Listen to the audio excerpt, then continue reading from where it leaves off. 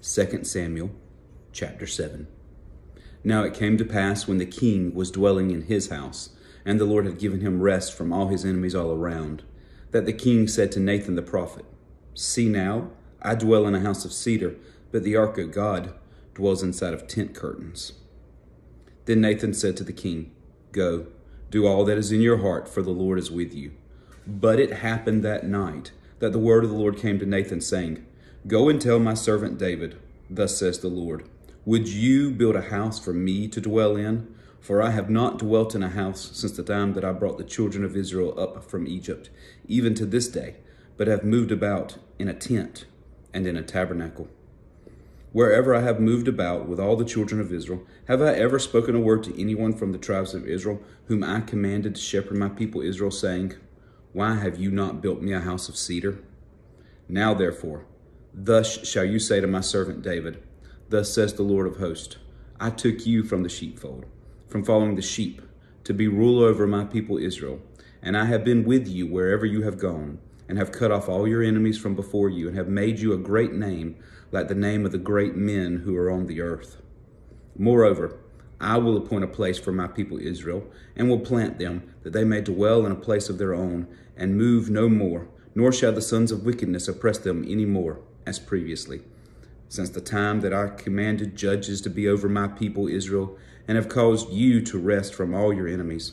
Also, the Lord tells you that he will make you a house when your days are fulfilled and you rest with your fathers, I will set up your seed after you, who will come from your body, and I will establish his kingdom. He shall build a house for my name, and I will establish the throne of his kingdom forever. I will be his father, and he shall be my son. If he commits iniquity, I will chasten him with the rod of men and with the blows of the sons of men. But my mercy shall not depart from him, as I took it from Saul, whom I removed from before you and your house and your kingdom shall be established forever before you. Your throne shall be established forever. According to all these words and according to all this vision, so Nathan spoke to David. Then King David went in and sat before the Lord, and he said, Who am I, O Lord God? And what is my house that you have brought me this far? And yet this was a small thing in your sight, O Lord God, and you have also spoken of your servant's house for a great while to come. Is this the manner of man, O Lord God? Now what more can David say to you? For you, Lord God, know your servant, for your word's sake, and according to your own heart, you have done all these great things to make your servant know them. Therefore, you are great, O Lord God, for there is none like you, nor is there any God besides you, according to all that we have heard with our ears. And who is like your people like Israel?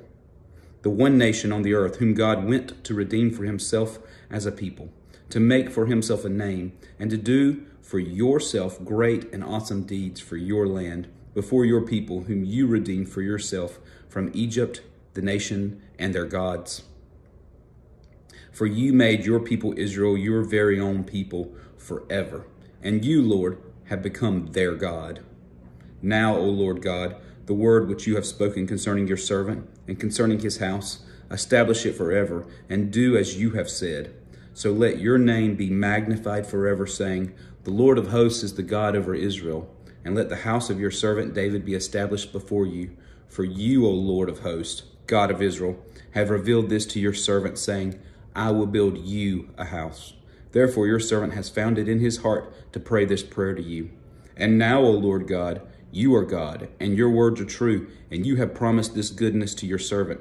Now, therefore, let it please you to bless the house of your servant, that it may continue before you forever. For you, O Lord God, have spoken it, and with your blessing, let the house of your servant be blessed forever.